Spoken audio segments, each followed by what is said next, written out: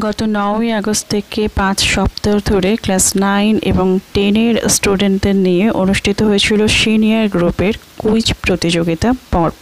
এই কুইজ প্রতিযোগিতার পাঁচটি পর্বে যে যে প্রশ্নোত্তর আলোচিত হয়েছিল, সেগুলো আমি এই ভিডিওটিতে তোমাদের সামনে তুলে ধরলাম। কুইজ প্রতিযোগিতার প্রথম পর্বে ছিল সাহিত্য। সাহিত্য পর্বে সত্যজিৎ রায়ের উপর থেকে প্রশ্ন করা হয়েছিল। প্রথম প্রশ্ন ছিল, পিতা সুকুমার রায় রচিত বিভিন্ন ছড়ার ইংরাজি অনুবাদ করেন পুত্র সত্যজিৎ রায়।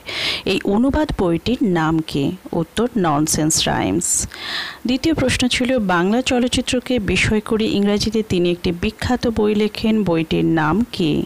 উত্তর আওয়ার ফিল্মস দেয়ার ফিল্মস তিন নম্বর প্রশ্ন ছিল, সত্যজিৎ রায় সৃষ্ট একটি বিখ্যাত লেখক চরিত্র হল জটায়ু। জটায়ু ডিটেকটিভ উপন্যাস লিখতেন। জটায়ু ডিটেকটিভের নাম কি ছিল? উত্তর, প্রখর রুদ্র। ফেলুদার একটি গল্পের মূল পটভূমি হল রাওয়াল বংশীয় রাজা জয়সাল প্রতিষ্ঠিত এই শহর। শহরটির নাম কি? গল্পটির নাম কি? শহরটির নাম জয়সালমীর এবং গল্পটির নাম সোনার। কেল্লা।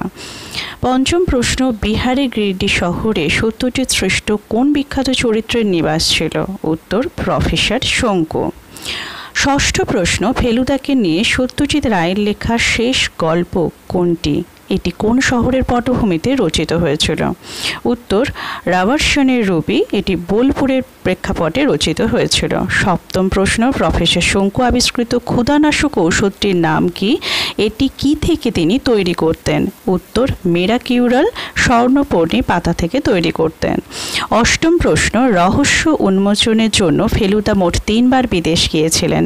এই তিনটি জায়গা কি কি ছিল? উত্তর, লন্ডন, কাঠমান্ডু এবং টিনটোরেটো নবম প্রশ্ন, ত্রিনয়ন ও ত্রিনয়ন একটু জিরো, লাইনটি ফেলুদার কোন গল্প থেকে নেওয়া? লাইনটিতে ধাঁধার মাধ্যমে বলা হয়েছে কোন সংখ্যা? গল্পটির নাম ঘুরঘুটিয়ার ঘটনা আর সংখ্যাটি হল তিন নয় শূন্য, তিন নয় আট দুই শূন্য।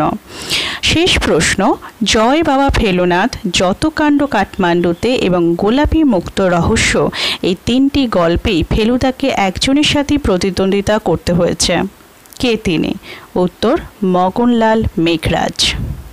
এবার কুইজের দ্বিতীয় পর্ব বা বিজ্ঞান পর্বের প্রশ্নোত্তরগুলি সম্পর্কে জেনে নেব। প্রথম প্রশ্ন ছিল, বায়ুমণ্ডলের ওজন স্তরের ঘনত্ব বা গাঢ়ত্ব মাপা হয় ডবসন এককে কোন বিজ্ঞানীর নামানুসারে এই ইউনিট? উত্তর, বিজ্ঞানী কর্ডন ডবসনের নামানুসারে ইউনিট। দ্বিতীয় প্রশ্ন, সূর্য থেকে আসা তাপশক্তিকে বৈদ্যুতিক শক্তিতে রূপান্তরিত করা সম্ভব এসপিভি সেলের সাহায্যে? এই এসপিভি সেলের পুরো নাম কি? উত্তর সোলার ফোটো ভোল্টাইক সেল। তৃতীয় প্রশ্ন ছিল, সোডিয়াম কার্বনেট যৌগটি একটি নিত্য ব্যবহার্য জিনিসের মূল উপাদান, জিনিসটি কি? উত্তর, কাপড় কাচার সোডা। চতুর্থ প্রশ্ন ছিল, জল দূষণ ঘটিত একটি অসুখের নাম ইটাই ইটাই। জলে কোন ধাতুজনিত দূষণের ফলে এই রোগটি হয়? উত্তর ক্যাডমিয়াম।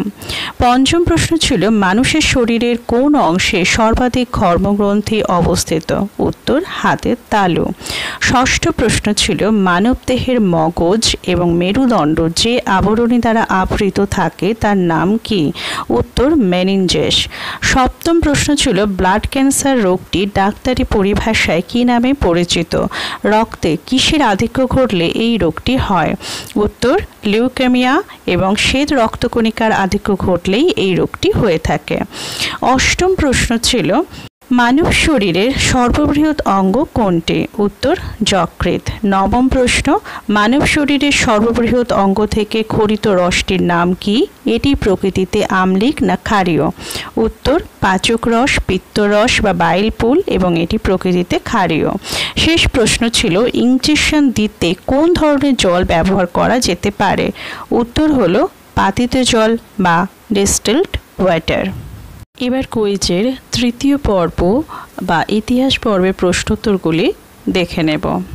প্রথম প্রশ্ন ছিল, কত খ্রিস্টাব্দে কোন অধিবেশনে নেতাজি প্রথমবারের জন্য জাতীয় কংগ্রেসের সভাপতি নির্বাচিত হন? উত্তর, উনিশশো আটত্রিশ সালে হরিপুরা অধিবেশনে। দ্বিতীয় প্রশ্ন ছিল, উনিশশো উনচল্লিশ সালে কংগ্রেসের জাতীয় অধিবেশনে নেতাজির কাছে সীতারামাইয়ার পরাজয়ের পর গান্ধীজি কি বলেছিলেন? উত্তর, পট্টভীর পরাজয়, আমার পরাজয়। তৃতীয় প্রশ্ন, আফগানিস্তানে পালানোর সময় নেতাজি আফগানিস্তানের পস্তু ভাষা না জানায় কাকে সঙ্গী হিসেবে নেন ও নিজে বোবাকালা সেজে যান? উত্তর, মিয়া আকবর শাহ। চতুর্থ প্রশ্ন ছিল, কে নেতাজিকে প্যাট্রিয়ট অফ প্যাট্রিয়টস আখ্যা দিয়েছিলেন। উত্তর, গান্ধীজি। পঞ্চম প্রশ্ন ছিল, রবীন্দ্রনাথ ঠাকুর তার কোন নৃত্যনাট্যটি নেতাজি সুভাষচন্দ্র বসুকে উৎসর্গ করেন?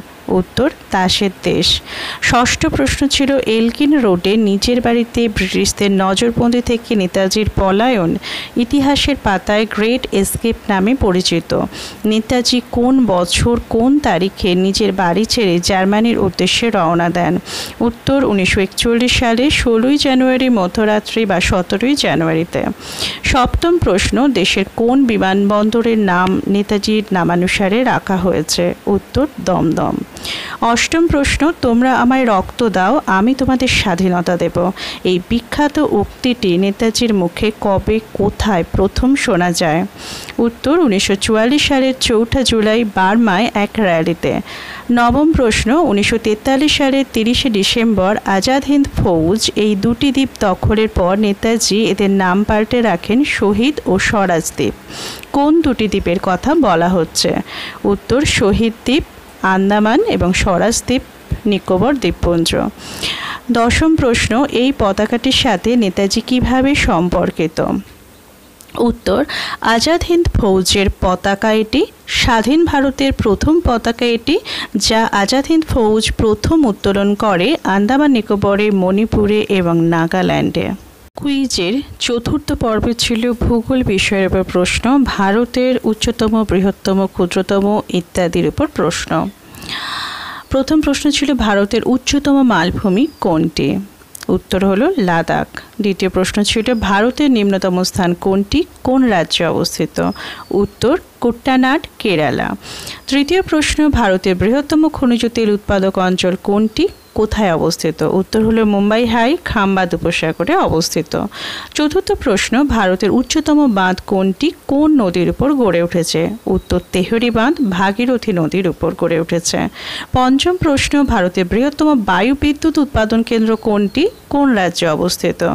উত্তর হলো মুপান্ডল, তামিলনাড়ুতে অবস্থিত। ষষ্ঠ প্রশ্ন ছিল, ভারতের বৃহত্তম আন্তর্জাতিক বিমানবন্দরের নাম কি? উত্তর, ইন্দিরা গান্ধী আন্তর্জাতিক বিমানবন্দর, দিল্লি। সপ্তম প্রশ্ন ছিল জনসংখ্যায়, দেশের কোন রাজ্যে নারীর অনুপাত সবচেয়ে বেশি আর কোন রাজ্যে সবচেয়ে কম? উত্তর হলো সবচেয়ে বেশি কেরালাতে এবং সব থেকে কম হরিয়ানায়। অষ্টম প্রশ্ন ছিল ভারতের বৃহত্তম জেলার নাম কি? আয়তন অনুসারে। কোন রাজ্যে অবস্থিত? বৃহত্তম জেলা হল কচ্ছ গুজরাটে অবস্থিত। নবম প্রশ্ন ছিল দেশের দীর্ঘতম ও ক্ষুদ্রতম ন্যাশনাল হাইওয়ের নাম বলো। উত্তর হলো দীর্ঘতম national highway NH forty four এবং ক্ষুদ্রতম এনএইচ ফর্টি সেভেন এ। শেষ প্রশ্ন ছিল, জনসংখ্যায় ও আয়তনে দেশের ক্ষুদ্রতম রাজ্য দুটির নাম বলো। জনসংখ্যায় ক্ষুদ্রতম রাজ্য হলো সিকিম এবং আয়তনে ক্ষুদ্রতম রাজ্য হলো গোয়া। কুইজের সাধারণ পর্বের একদম শেষ পর্বে বা পঞ্চম পর্বে ছিল খেলাধুলার উপর প্রশ্ন। প্রথম প্রশ্ন ছিল ন্যাশনাল স্পোর্টস ডে কোন দিনটিতে পালিত হয়? এটি কার জন্মদিন?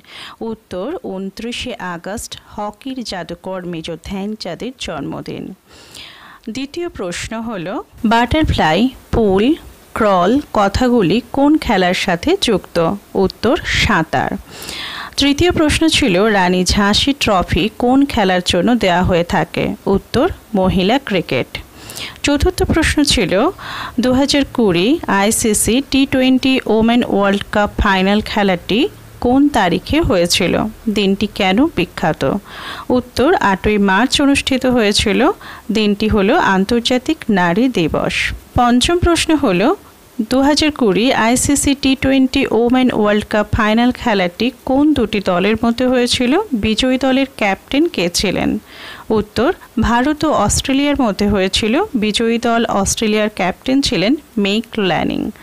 ষষ্ঠ প্রশ্ন দু হাজার কুড়ি ICC T twenty women world cup final খেলায় সবচেয়ে বেশি রান কে করেছিলেন? উত্তর, বেথ মনি, আটাত্তর নট আউট ছিলেন। সপ্তম প্রশ্ন দু আঠেরো ফিফা ওয়ার্ল্ড কাপ ফাইনাল কোন দুটি দলের মধ্যে হয়েছিল? ম্যান অফ দ্য ম্যাচ কে হয়েছিলেন? উত্তর হলো ফ্রান্স ও ক্রোয়েশিয়ার মধ্যে হয়েছিল। ম্যান অফ দ্য ম্যাচ হয়েছিলেন অ্যান্টনি গ্রেসম্যান ফ্রান্সের। অষ্টম প্রশ্ন দু হাজার বাইশ ফিফা ওয়ার্ল্ড কাপ ফাইনাল কোন স্টেডিয়ামে হওয়ার কথা?